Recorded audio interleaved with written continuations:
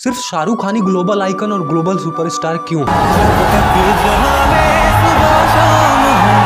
सलमान खान को global icon और global superstar क्यों नहीं बोला जाता? एक बार इस वीडियो को देखो।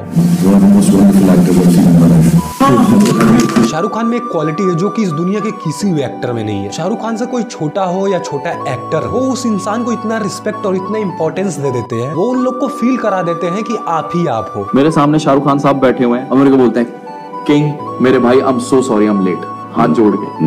मैं सोफे बैठा था मैं उतर के नीचे बैठ गया। क्यों बोलता हूँ? Why he is king because उनको पता है कि एक आर्टिस्ट को लिबर्टी देनी कितनी बड़ी चीज़ होती है। ये जो इनके अंदर क्वालिटी है ये इसी चीज़ को हर जगह फॉलो करते हैं। इन्हें से कोई छोटा आदमी हो या एक्टर वो इतना उसको फ्रीडम दे देते हैं और इतना रिस्पेक्ट दे देते हैं। उनके जो सामने बैठा हुआ व्यक्ति होता है उसके ऊपर इस चीज़ का बहुत बड़ा असर पड़ता है। और वो इनसे कनेक्टेड महसूस करने लगता है। क्या आपने ये सब चीज़ें सलमान खान या अदर एक्टर्स में देखी है? बिल्कुल भी नहीं। और इनका जो फैंस होते हैं या कोई आम आदमी होता है वो इनको इतना रिस्पेक्ट देते हैं इसके वजह से। पूरे दुनिया में इनकी एक अलग ही पर्सनैलिटी बनती है। ये सब चीज़ें देख के हर एक आदमी में एक अपने आप ही इज़्ज़त पैदा हो जाती है इनके लिए। और आपने लगभग सबके मुँह से सुना होगा कि शाहरुख खान एक एक्टर नहीं एक इमोशन है। ये वही रिस्पेक्ट होती है जो कि अपने आप सबके मन में आ जाती है इनके प्रति। सलमान खान का नाम लेने से ये सब चीज़ें बिल्कुल भी नहीं आती हैं। और आप कुछ भी कहो सलमान खान और शाहरुख खान भले ही पर्सनली एक दूसरे के बहुत अच्छे दोस्त हों लेकिन हम फैंस के लिए इन दोनों लोग की पर्सनैलिटी बिल्कुल अलग है। और सलमान खान के प्रति ये सब चीज़ें इसलिए नहीं आ पाती क्योंकि ये बहुत ज़्यादा कॉन्ट्रोवर्सीज में रहते हैं और इनकी बाहर भाई जैसी एक इमेज बनी पड़ी है। जैसे कि आप इनसे पंगा नहीं लेना, नहीं तो करियर खा जाएँगे मतलब इस टाइप की चीज़ें। और इसी चीज़ के उलट शाहरुख खान के नाम में ही एक इमोशन छुपा है। सर, आपके जैसा लेजेंड और आपके जैसा सुपरस्टार अब कभी भी कोई दूसरा इस धरती पे आपके जैसा पैदा नहीं होने वाला। और जो मेरे ड्रीम्स है, उसमें से एक ड्रीम ये भी है कि मैं सर के सामने एक दिन बैठूं और उनसे